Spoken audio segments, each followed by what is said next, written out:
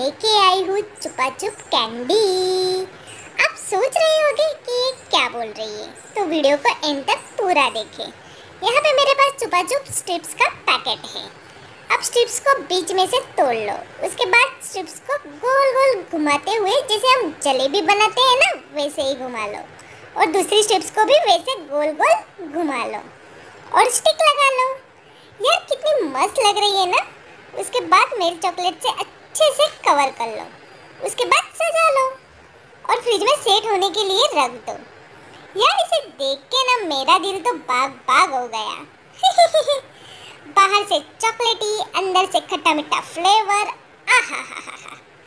Guys आप कौन से खाना पसंद करोगे? मैं तो मेरी फेवरेट स्टार वाली। वीडियो को लाइक शेयर सब्सक्राइब भी कर दो। बाय